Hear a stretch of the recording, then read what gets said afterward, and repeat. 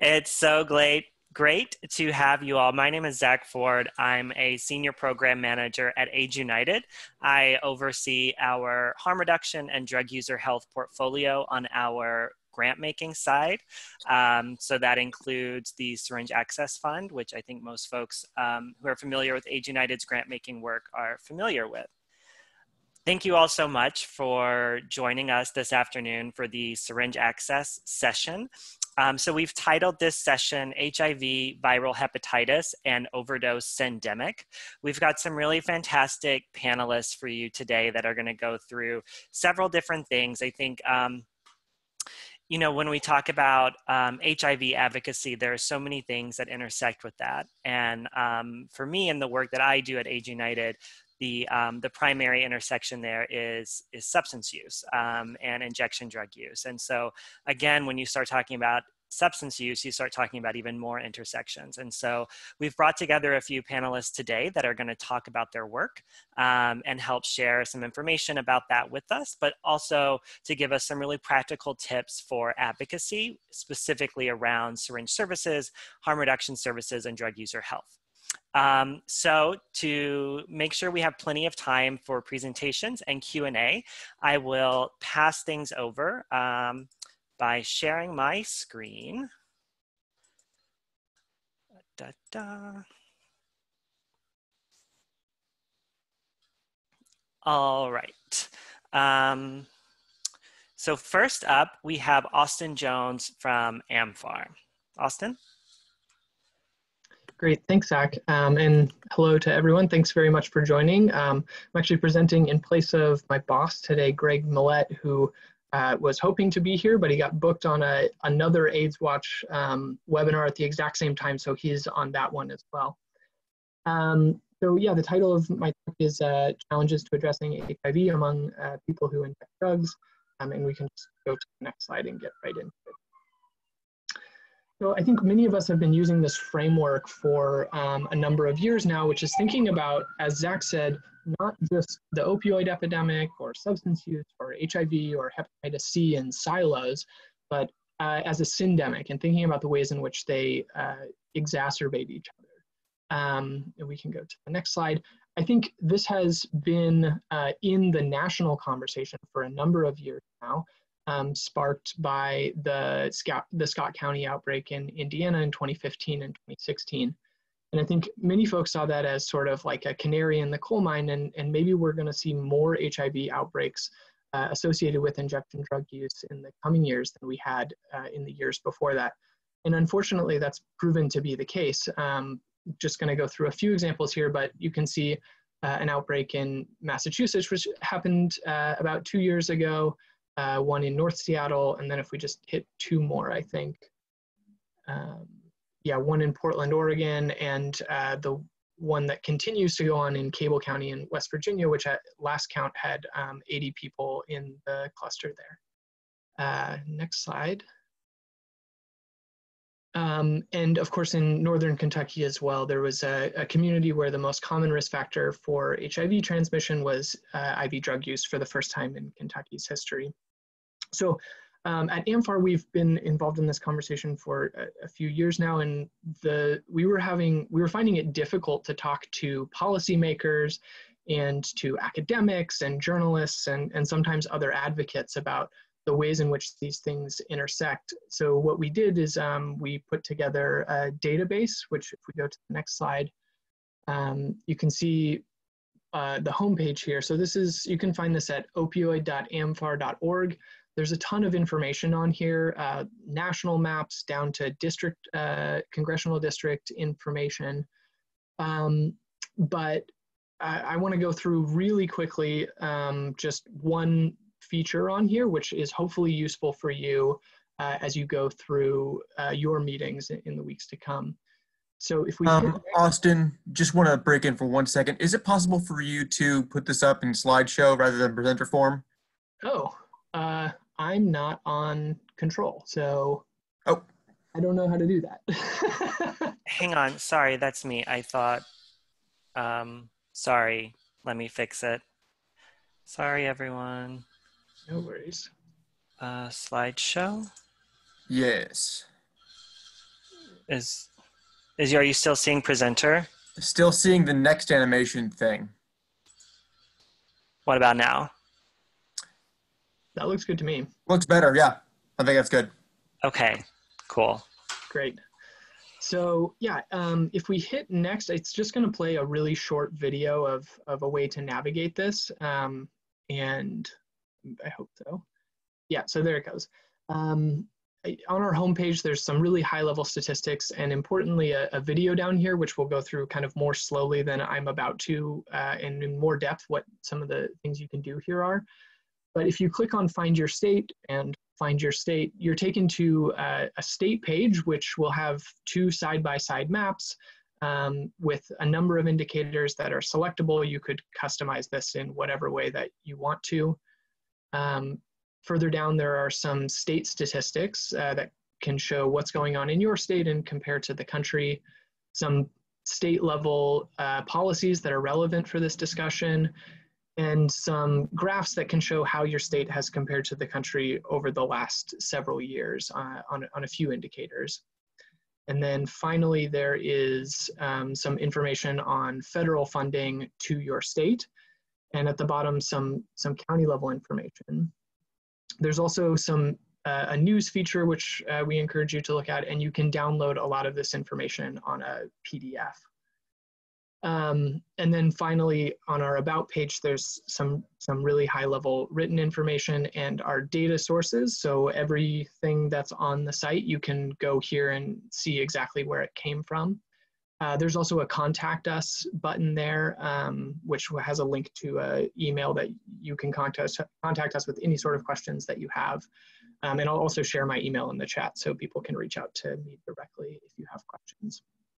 Um, so with that, we can sort of move on to the second part of the presentation, which is to talk a little bit about what um, the challenges are to progress um, in this field. I think we all know that there's a long way to go. And even when it seems like we've won a battle, um, it sometimes comes back up to bite us. Um, so on the next slide, we can see one of those cases is in Indiana, where very, uh, you know, famously, sort of infamously, there was the, the Scott County outbreak. And you would think that this is a place that should really understand the value of syringe exchange. And yet, um, there's still battles being fought to, to maintain access not you know even growing access is difficult but but stopping it from being rolled back um, we can go to the next slide and a uh, similar thing in west virginia which has um, some of the highest rates of hepatitis c in the country and yet last year in a couple of the jurisdictions there uh, really severe uh, rules went into place which made it so that some syringe programs had to close and others had to drastically reduce their access um, or reach. Uh, and this has coincided with the increase in hepatitis C cases and with the HIV outbreak that we talked about a little bit earlier. Go to the next slide. And unfortunately, I think this is in part because uh, we haven't yet won the popular opinion battle about um, syringe exchange and harm reduction generally. This is just a, a couple of graphs from the last, from public opinion polls from the past couple of years and this is changing, I think, because we, you know, we've won um, state level legalization battles in a number of states over the last few years, which has been really encouraging, but there's still sort of a long way to go. On the next slide. Uh, this includes for other harm reduction in like safe injection sites where the uh, Federal Department of Justice is actively right now suing to stop Philadelphia from opening their safe injection site. And in California, uh, the legislature actually passed a bill, but it was vetoed by a Democratic governor. So um, still a long ways to go. Next slide. And of course, it's also important, I think, um, to make sure that we're not talking about this as just opioids. Um, we know that there's huge overlaps with all sorts of uh, other substance use, including meth and cocaine and, and other drugs. And this is important not just to be inclusive of people, but also because it has real consequences for policy. One of the things that we've seen over the past few years is that a lot of the resources that have been put out by the federal government have been designed to only be used for opioids. And it's only within the last month or so that some of those restrictions have started to come off. In the next slide. and you know, just to say, I think we still have a long ways to go in even tackling the opioid epidemic on its own. Um, this is just a, a little animation, which maybe will loop, maybe won't, but it, it shows that, um, you know, we're in a little bit of a better place with opioids than other drugs in that there are FDA approved um, medications which can be used to treat an opioid use disorder.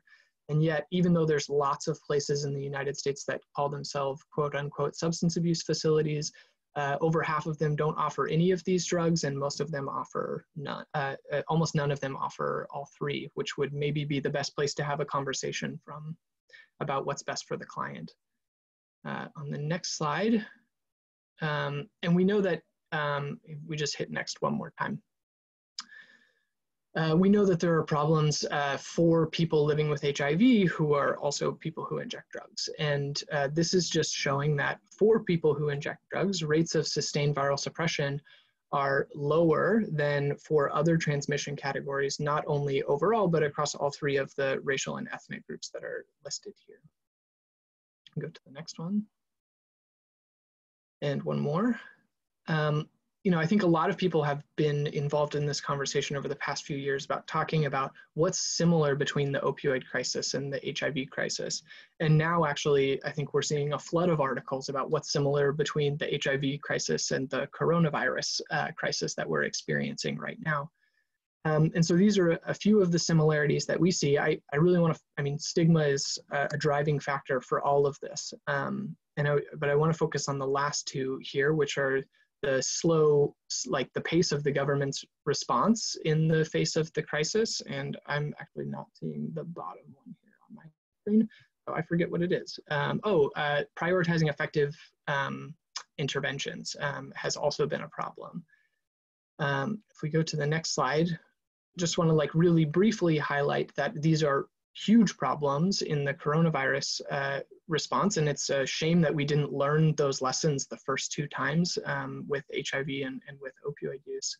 Um, but do want to highlight resources um, for people thinking about safer drug use during the outbreak um, from harm reduction and others there on the right. And then my last slide is the next one, which is just to say that you know, I think um, we've had a sort of a moment over the past few years where lots of policymakers have been interested in talking about people who use drugs in a way that hasn't happened beforehand. And with the coronavirus um, crisis right now, uh, the work that you all are going to be doing in the weeks ahead just becomes even more important um, because there's always a danger that when we move on to the next crisis as a country, we kind of forget the one that we were focused on before. So with all of the resources going out the door um, right now to fight the coronavirus uh, uh, crisis, yeah, I just want to um, thank everyone for, for the work to make sure that we don't lose focus on um, people who use drugs. Uh, and then on the last one is just acknowledgement for everyone else in the uh, AMFAR policy office, including Greg, who uh, contributed to this presentation. I'm happy to take questions at the end, and I'll share my email for other questions. Thanks. Thank you so much, Austin. And we're going to go right into the next portion, which I will pass over to Jada. Uh, hi, everyone. This is Jada Hicks with the Center for HIV Law and Policy. I'm going to give a little bit of background um, on the criminalization of viral hepatitis and how that came to be. Next slide, please. So just a little bit of background. Um, there's definitely a crossover and intersection between HIV criminalization and viral hepatitis criminalization. So the past several years, we've seen a number of key developments. Um, we saw the criminalization of viral hepatitis as an HIV reform strategy in Iowa so that the law wouldn't be HIV specific. They actually encompassed other diseases.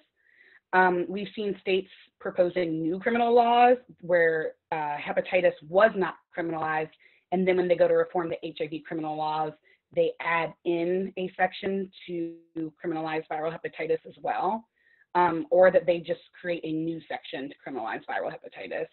We've seen ongoing prosecutions of people living with viral hepatitis uh, for alleged exposure. Uh, actually, one just came through my inbox this morning, so still happening. Um, and obviously, with the opioid crisis, we've seen a major increase in the burden and um, prevalence of viral hepatitis. Uh, most of these laws have come about at the same time as those targeting people um, living with HIV. Next slide, please. So just as a little bit of background so that we can segue into viral uh, hepatitis criminalization, HIV criminalization is the arrest, prosecution, and imprisonment of people living with HIV for things that are perfectly legal or only minor crimes for someone who's not tested positive. So your HIV status plus whatever conduct or action you are engaging in um, is used to single you out for uniquely harsh discriminatory treatment by the criminal legal system. Next slide. So there are over 30 states that criminalize um, HIV and have HIV specific criminal laws. Typically what we're seeing with these laws are non-disclosure before consensual sex, spitting, um, biting, other modes of exposure to bodily fluids. That's usually with police officers, mental health facilities, or correctional officers. Um, usually substances we know have little to no risk of transmission. We're also seeing enhancements or additional penalties for sex workers. Um, they can also be prosecuted under the general criminal laws as well. Next slide. And so what we see is a lot of overlap with the criminalization of viral hepatitis.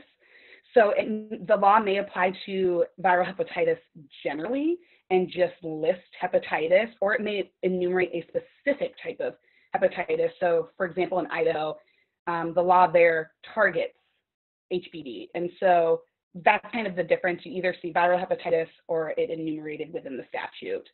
Um, transmission is typically not required. Again, a lot of times we're going to see this in a correctional setting or with a law enforcement officer. Um, and it's urine, feces, blood, spit, semen. And we know that if you're tossing urine, there's no risk of transmission, yet it's still being criminalized, and we're still seeing felony level punishments for that. Um, with hepatitis, we also see sex without prior disclosure of status, needle sharing, and quote unquote knowing exposure, which could mean just about anything. Um, and it's often a very serious felony. Um, in Georgia, you could face up to 20 years in prison. So it's very, very harsh uh, punishment for someone living with viral hepatitis. Next slide, please. So this is an overview of the 13 states that criminalize hepatitis in some form or fashion. It's going to be the dark green states. Um, and this is also on our website for anyone that's interested. Next slide. Um, this is going to be a breakdown of how hepatitis is criminalized within those 13 states, whether it's specifically enumerated type of uh, hepatitis, whether it's hepatitis generally, and a breakdown of what activities are also criminalized. This is also going to be on our website. Um, next slide.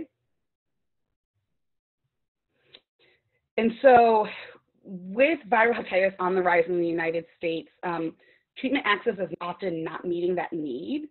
So we know most states uh, prohibit the possession of drug paraphernalia and syringe access remains inadequate, and Austin touched on that um, in his presentation as well. We've also seen an ongoing crisis within the correctional settings. Um, incarcerating people based on their disease status will only exacerbate, exacerbate the existing problem. And we have to look outside of the carceral approach um, and look more from a public health standpoint when we are trying to address um, ending the criminalization of viral hepatitis and criminalization based on anyone's health status for that matter. Next slide. So what are the problems with uh, criminal laws that criminalize viral hepatitis? They're unfair. Again, oftentimes you don't have to prove an intent to harm. It's enough that you know your status and don't disclose your status to the other individual before engaging in some sort of um, enumerated activity in the statute. They're excessively punitive. Most of these the times they're being charged with felonies. So for example, with the correctional officers, that's typically already a crime. Um, someone that is not living with hepatitis who spits on a correctional officer can be charged with a crime. However, if you have hepatitis, it's going to add on an additional felony, whereas if you don't have hepatitis, it's going to be a misdemeanor, um, depending on, on what state you're in. They're unscientific. So again, we know that these conducts that are criminalized pose no negligible or low risk, and that's oftentimes we cite that uh, information from the CDC itself, and still legislators want to argue that it's there to protect them. Um, it definitely promotes stigma concerning viral hepatitis just generally within our communities. Um, and it also conflicts with public health angles, and it doesn't take into account the universal vaccination um, for hepatitis A, B, and the access and cure for hepatitis C. Oftentimes, that is completely ignored when you're discussing criminal law reforms or efforts. Um, it's not something that they take into account whatsoever. And we know obviously that it already disproportionately affects our marginalized community and continues to push them to the bounds. So that would be people who are currently or formerly incarcerated, people who inject drugs, people living with HIV, and people of color as well. Next slide. So I touched on this a little bit um, earlier about how these laws came to be. So it's it's either two primary approaches, simultaneously criminalizing alongside HIV. So it'll be the same piece of legislation. And what they do is they'll change it from HIV specific law to include either infectious or communicable disease. And the definition for infectious or communicable disease is broad enough that it will also encompass hepatitis. And they do this under the guise of making it so that the law isn't discriminatory because it's not singling out individuals that are living with HIV. Um, the other way is adding hepatitis onto an existing statute. Um, so we touched a little bit on how Iowa, that was within their um, reform strategy, was to expand the scope of criminalized conditions, and that included viral hepatitis um, in the new definition when they reformed the law. So the result was that reckless transmission of viral hepatitis um, now became a Class D felony, and you could face five years in prison. So before hepatitis was not criminalized at all, it was just HIV. Then when they expanded the definition of conditions criminalized under that law, they made it broad enough to include uh, viral hepatitis and specifically called out viral hepatitis. Next slide, please. This is just another example of specifically enumerating a type of hepatitis within the statute. statute. So here we see hepatitis C being criminalized um, alongside HIV. And it's just an example of the language that they use within the law to criminalize hepatitis. Next slide.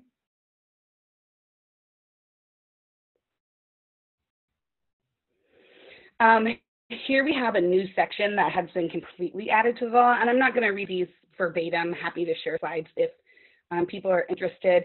This is just a new section that was out added to the South Dakota law in order to criminalize hepatitis C. Again, this was not part of their law, but when they reformed it under um, Senate Bill 93, they added a new section um, so that they could criminalize hepatitis C going forward.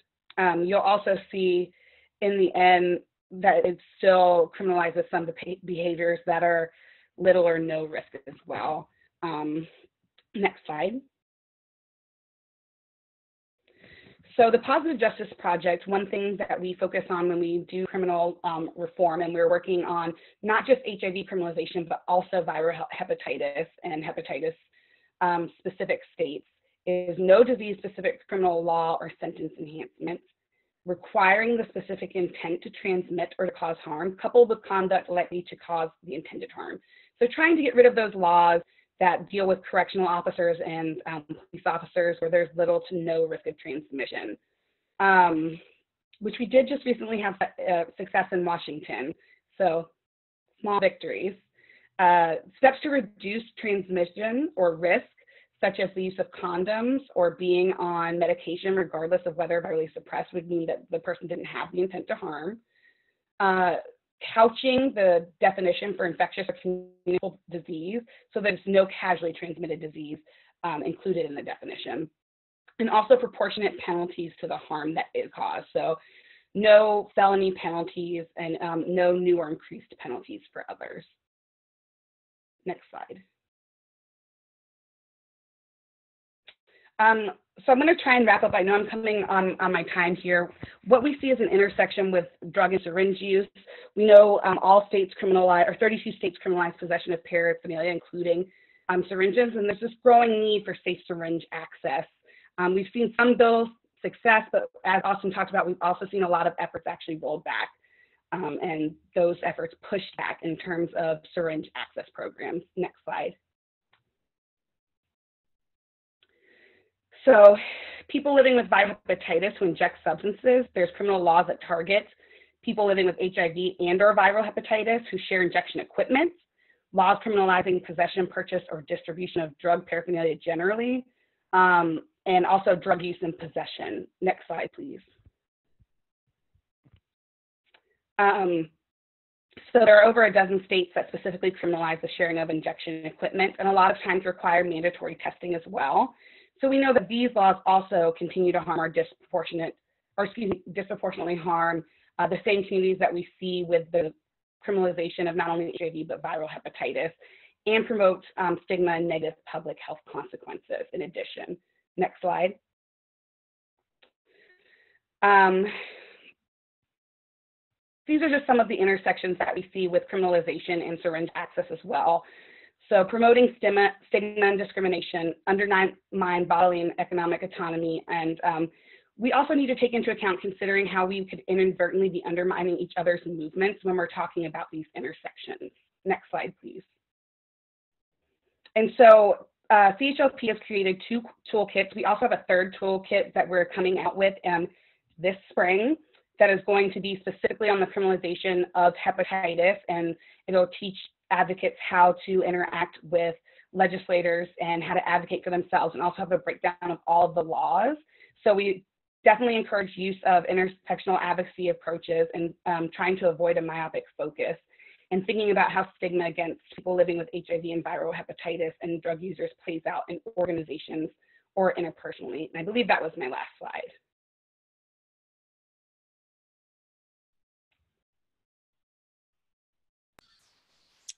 All right. Thank you, Jada. Um, yeah, just a couple slides here promoting the toolkits. Um, and now we are going to hand things over to Clay from the Arkansas Harm Reduction Project. Clay? Hi. Hello. Um, so I'm Clay. Can you guys hear me? Can y'all hear me? Yes, we can hear you. Okay, cool. Um, so I'm Clay. I'm the director of the Central Arkansas Harm Reduction Project. Um, we are a pretty new organization, um, and so I'm I'm still very much learning. And so thank you guys for um, having me on here and hearing what I have to say. I feel really honored to be among y'all right now. Um, so we started about two years ago um, on New Year's Day as just a naloxone access project as a just a community-based response to a lot of overdoses that were happening around us um, here in Little Rock. Um, and then uh, thanks to guidance of uh, a lot of people in the harm reduction like national community, we really quickly became a syringe access program. Um, a lot of that is thanks to AIDS United. Um, uh, basically everything that we've been able to do is thanks to them, um, as well as some other organizations like the Comer Family Foundation. I know that Mary is in here. Hello. Um, but um, we um, there's been on and off syringe access pro- program presence in Arkansas, but right now um, we are the only one that's really operating out in the open, and we are the only one at all in our our region. So we live in a really extreme um, service vacuum. Um, we try to provide as as much as we can as far as um, the most basic um, survival based supplies, stuff like naloxone, syringes, HIV testing. Um, and we're trying to build out our services to um, have a big focus on serving people experiencing homelessness and also sex workers.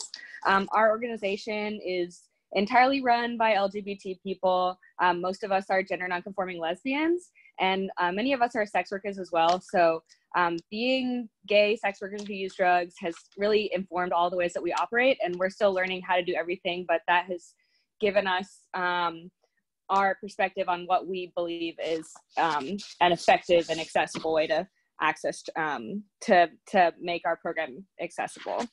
Um, we operate via a hotline system that's anonymous. Basically anybody can reach out to us um, let us know what they need and if they're within driving distance of us we'll we'll go meet them and we um, operate basically within like an hour drive radius.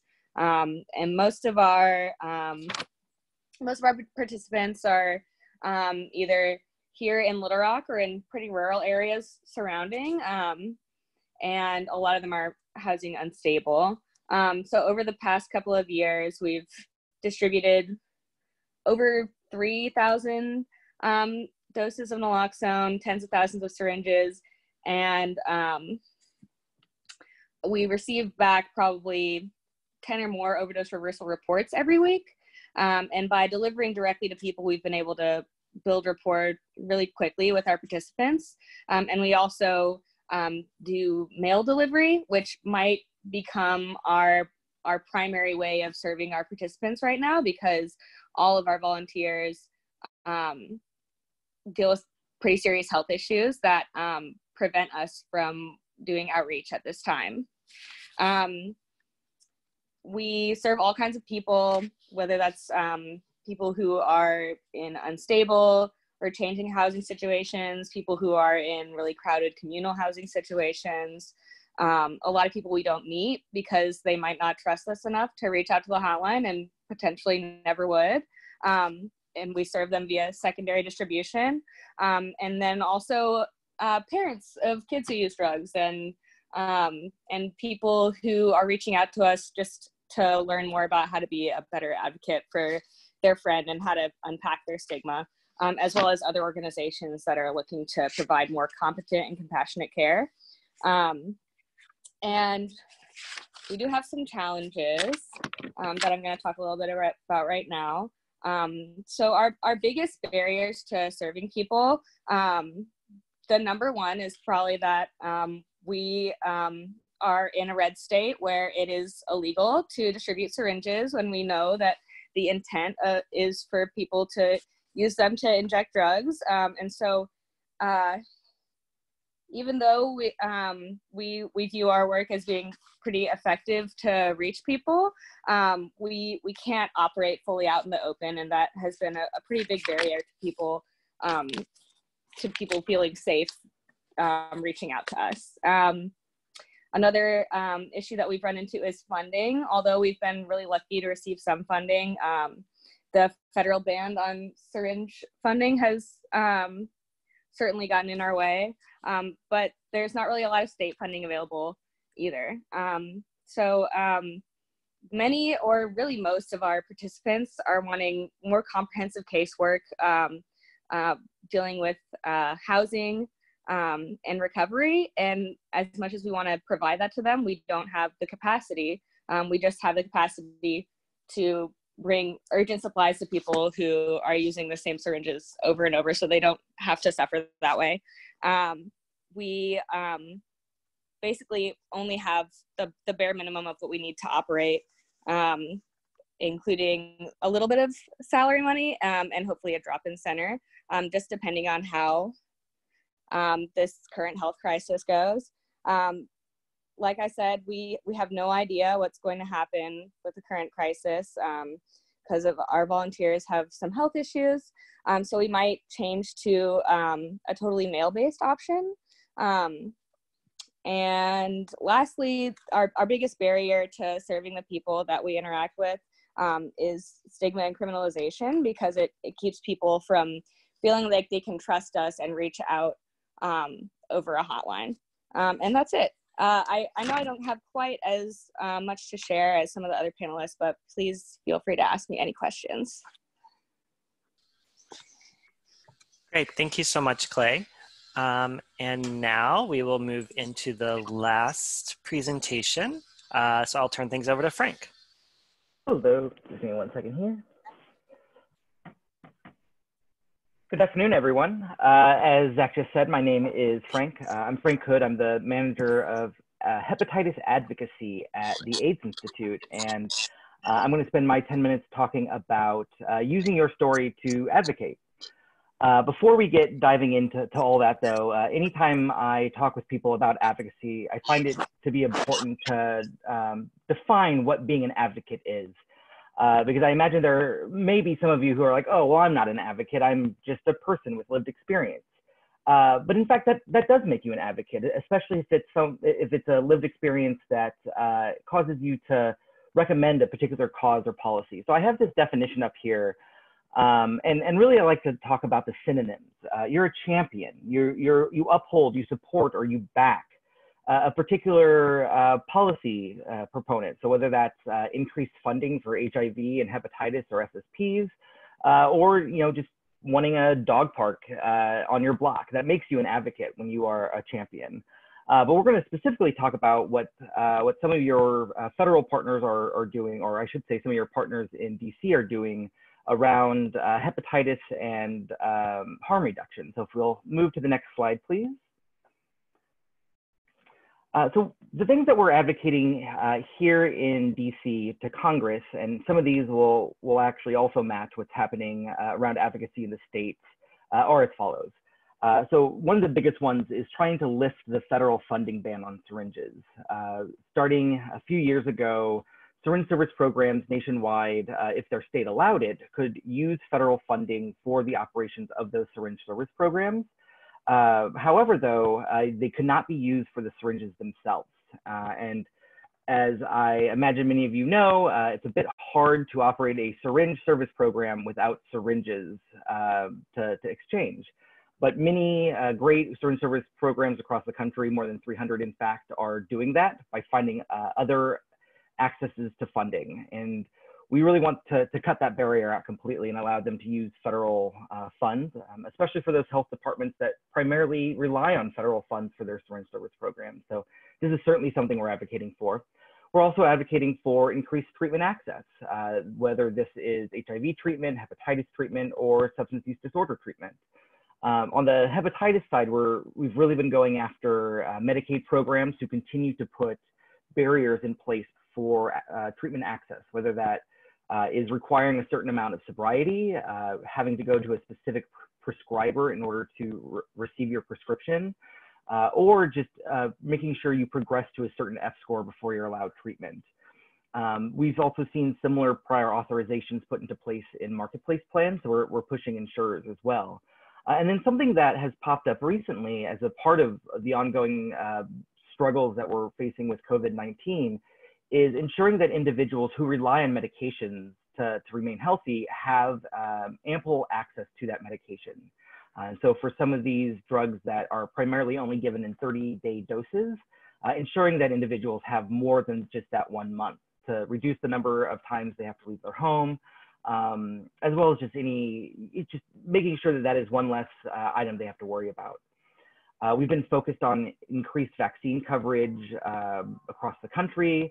Uh, much like uh, Jada touched on, we've been pushing against criminalization laws, uh, which we've unfortunately been seeing creep into the hepatitis space.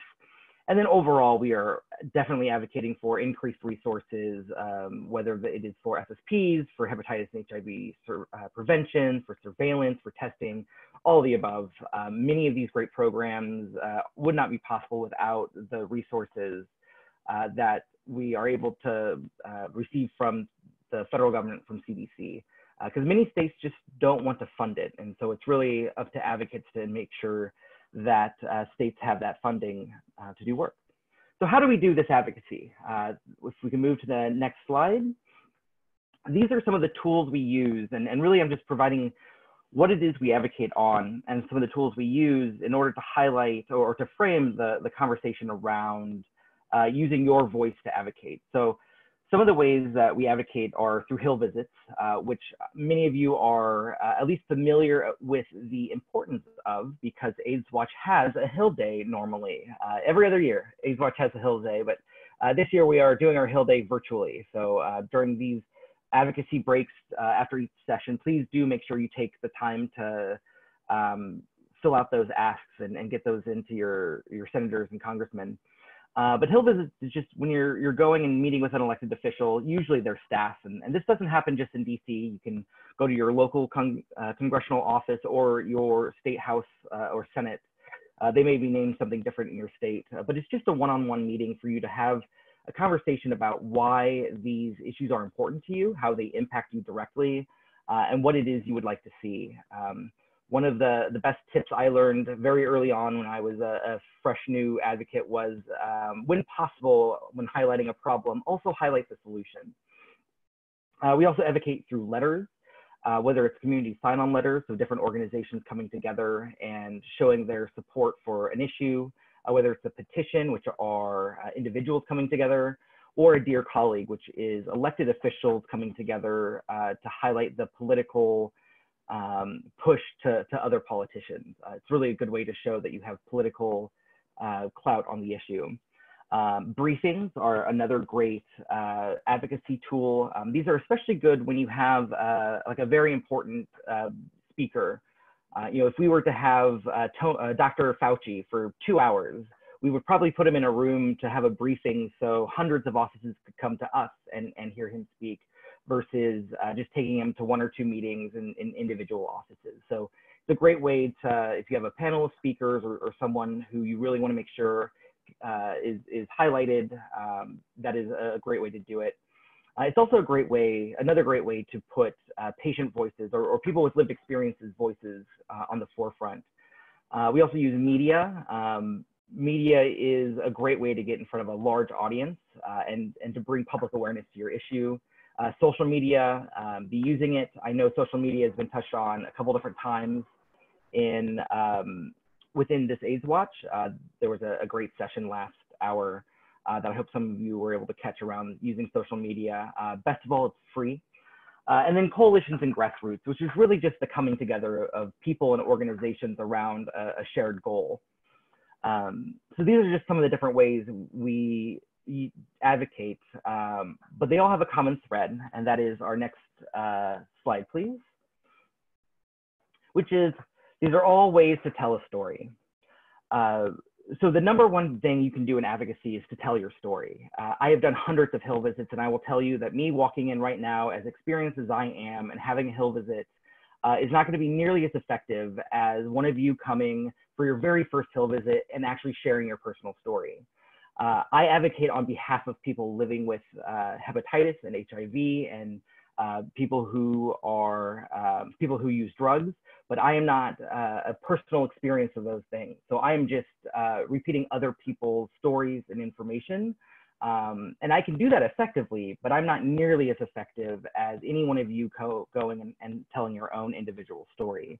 And the reason why that's important is because uh, before this staffer hears your story, it is possible this individual has never met someone living with HIV or hepatitis or who uh, uses drugs, uh, who may be a sex worker. Like they may not have had any experience. They may have preconceived notions. Um, they might be thinking of stigma uh, or indiscriminating uh, terms. Uh, and you really have an opportunity to um, really shift how that mindset goes when uh, you're able to go and, and have have an opportunity to tell your story. Um, and one of the pieces I really wanted to, to highlight about telling your story, um, if, let's move to the next slide, uh, is, is different ways you can go about doing it. So here you are, maybe you've never done a Hill visit before. Uh, you've been asked to, to go onto the Hill and advocate for an issue. Maybe you've been asked to, to speak at a briefing or uh, a reporter has reached out or, or someone you know has connected you with a reporter to talk about an issue. Uh, you might be feeling anxiety and nervousness. Uh, maybe you don't like public speaking. All of these are natural. All of these are fine. Um, there's really I don't want to say there's no wrong way of telling your story, but remember, it's your story. Uh, the way you tell it is up to you.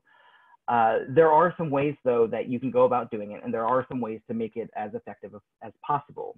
Uh, so, some of the ways uh, you can go about it is you could tell your story with others. So, let's say that you want to go and, and do this hill visit, and you don't know the number of the amount of money that's being asked for. You're not sure the number of hepatitis cases in your state um, you, you might not know some of these uh, little technical details, but you understand your personal impact of, of living with one of these diseases. Um, and, and that's what you're sharing. So when you go with someone else who might know that information, you're able to sort of tag team.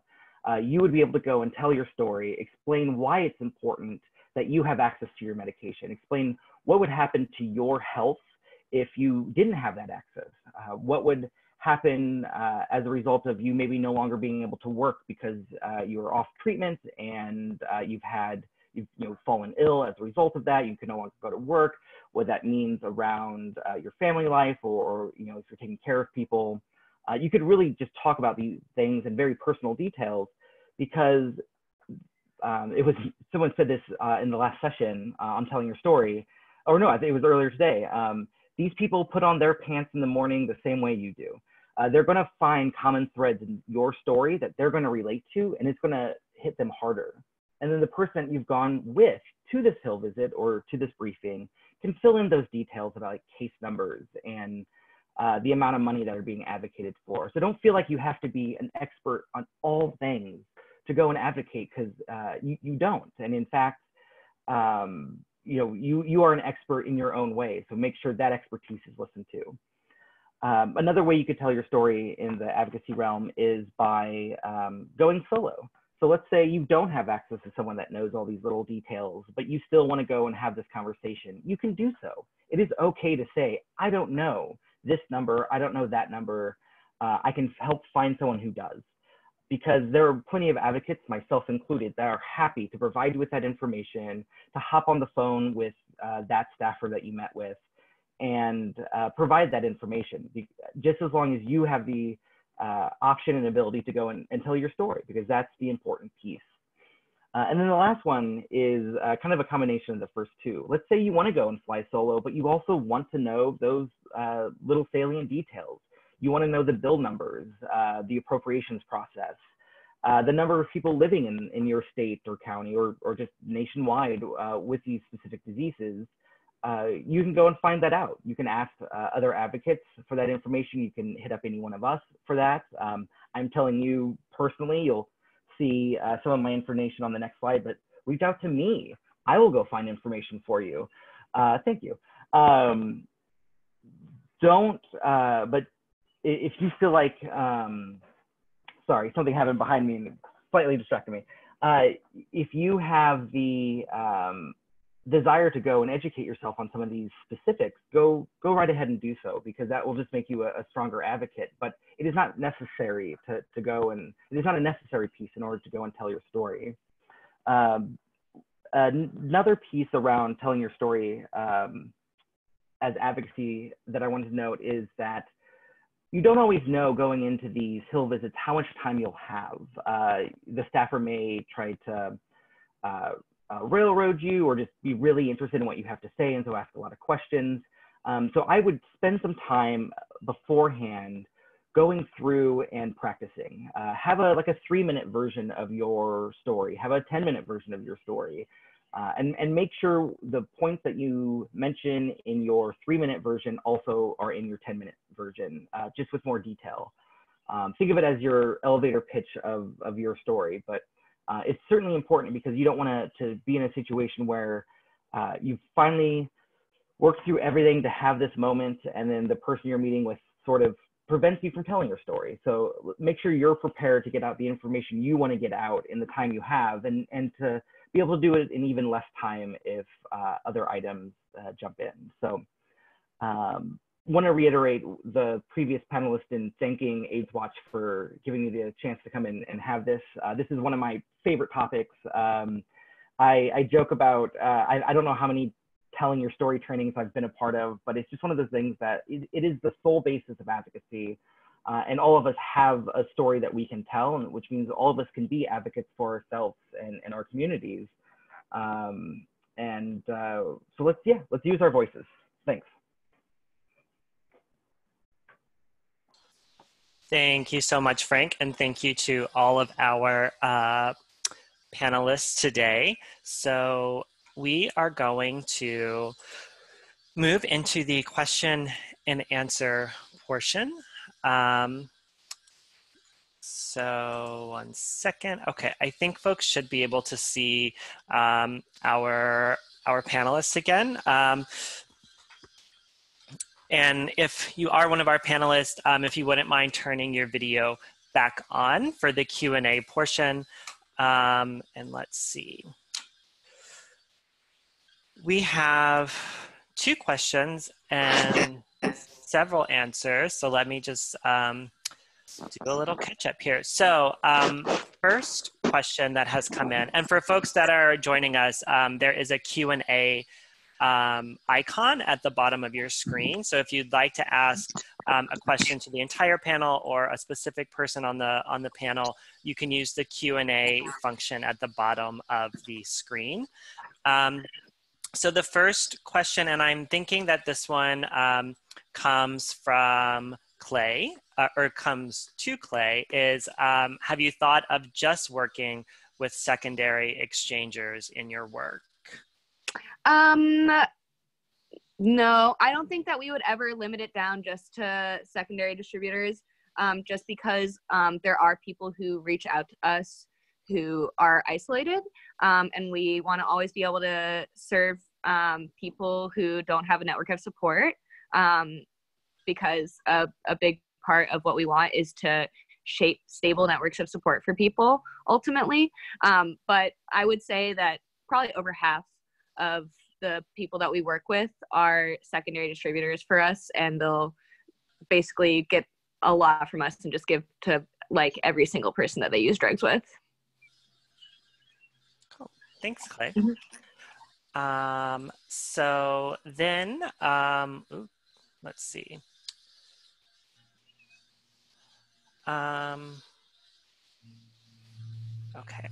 So um, then we have another question. Do we have specific SSP leave behind for our meetings? Um, so I can jump in on this one. Um, the we don't have um, like specific syringe access or SSP uh, briefings for meetings, but within the materials that our fantastic policy team put together, um, inside the briefings there are there's specific messaging around syringe services um, and drug user health. So um, if you are having a meeting and you want to talk about syringe access um, or funding for SSP, you can look within those uh, briefings to find information there. Um, and I don't know if Drew has anything else to add on that. Um, no, I will add that the Coalition for Syringe Access um, recently put together a sign-on letter for the um, COVID-19 emergency appropriations bill.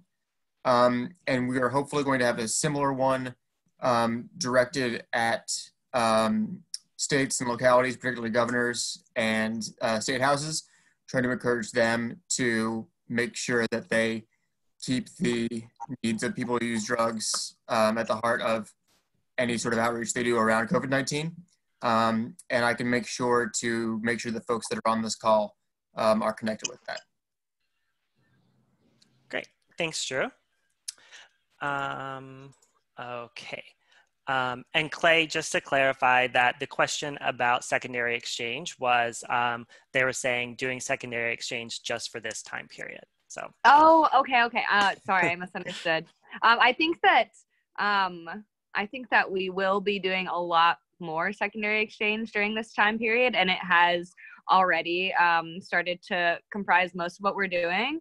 Um, but but I think that ultimately what we'll end up using as our our primary strategy will be uh, like a mail based system. Cool. Thanks, Clay. Mm-hmm. Um, so the next question that we have is for Frank, and the question is, do you find it difficult to contact a local representative to advocate to, or is someone from their office usually open to listening?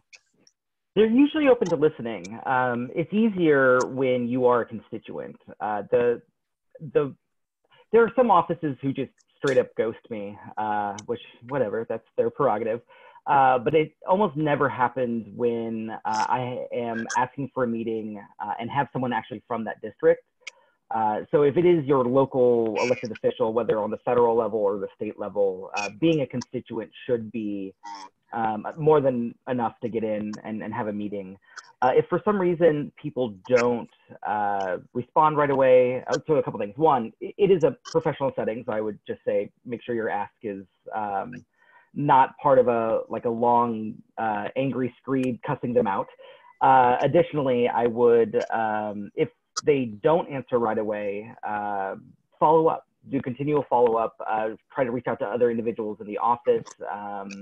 If they can't make that meeting, they might refer you to someone who can. But uh, I've had times where people just haven't responded to the first few, uh, and I'll like just keep adding another email to that thread and be like, I'm following up on my last three emails from the past three weeks. Uh, still trying to have a meeting with you, and uh, at some point they just relent and will meet with us. So keep at it. Um, more often than not, you'll be able to have that meeting. Great, thank you, Frank. Um, so next up, I think this question is probably for Jada, but um, everyone can feel free to jump in. Um, the person says, apologies if I missed this, but are there lessons from the fight against HIV criminalization that can be applied to the fight against hepatitis criminalization or vice versa? There certainly are, and I think one of the biggest lessons is not to undercut each other's movements. So um, one of the things that I highlighted in the presentation was when they try and make HIV criminal laws so that they are not HIV specific, they will broaden the definition of infectious and communicable disease so that it is broad enough to include hepatitis, but it's not stigmatizing because it's not just HIV. So one, I think, is to be completely educated when you're talking about law reforms in terms of are you broadening the law so that it's going to criminalize individuals that were not subject to criminalization before reform efforts? Um, we don't want to make it, it worse for people living with other diseases just to say that a law isn't HIV specific. Um, and that's kind of the biggest thing that I've seen between the two movements in terms of lessons. I'm interested to see really how this plays out with COVID 19, the criminalization that we're going to see unfold there, and how that affects criminalization reform efforts for HIV and viral hepatitis. So I think we should probably stay tuned because we're going to see a lot more lessons unfold.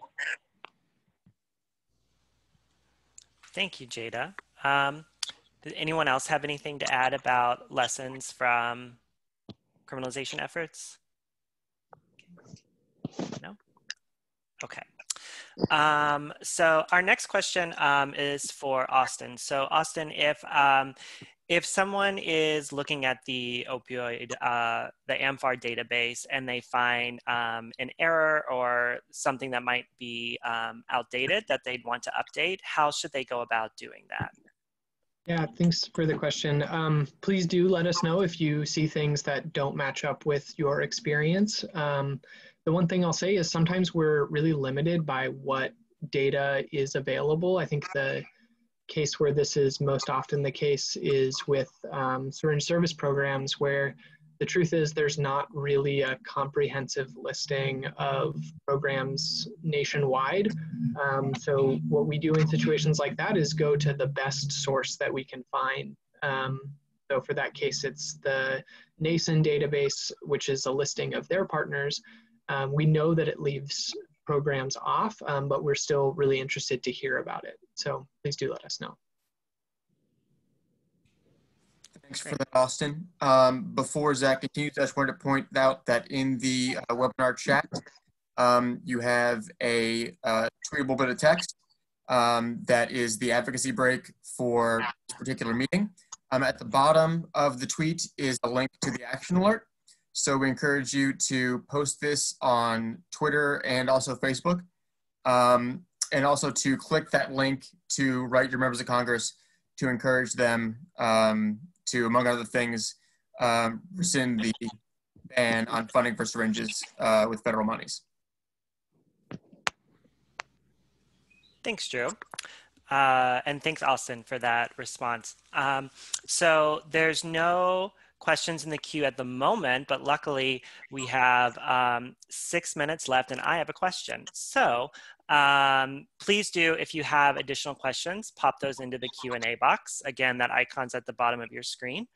Um, but while we have these expert advocates on the line, I am curious about something. So last year, um, when I was doing in-person Hill visits with syringe access advocates, uh, we had a really challenging meeting with um, a representative's office from Kentucky, where I uh, am from. And around advocacy for syringe access, one of the things that comes up a lot, of course, is naloxone distribution and access to naloxone. Um, and one of the really tough conversations is around um, overdose prevention efforts. And um, I had a representative's chief of staff ask me how many times we should um, allow first responders to revive someone. And so, my question is when you're in meetings like that and you get asked these really challenging questions, especially when you have personal experience uh, with substance use or with overdose or losing people that you really love and that mean a lot to you. Um, what are your recommendations for handling situations like that?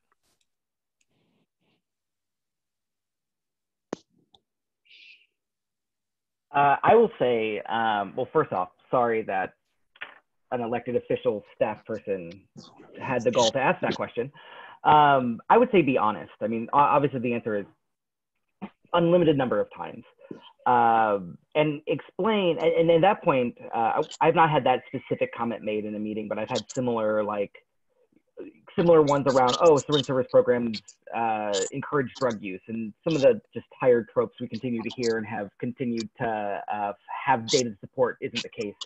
Uh, I would stick with with um, two things. One, I would stick with the the facts um, around that. Um, I would stick with the facts. So in the case of like, you know, talking about um, the importance of overdose reversal and everything else. Um, you know, anything that is factual, leave that out there. But also talk about the the emotional side. So uh, these are people's families. These these are brothers and sons and and mothers, uh, and and talking about them being just disposable humans uh, is kind of unconscionable, and I would I would say that um, because that first responder is not going to know who this person is related to. They're not going to know anything about this person. They're also not going to know if this individual has received overdose prevention before, and so or reversal before. So there there's really just no way for uh, putting into place what this person is basically suggesting, which is limiting the number of reversals.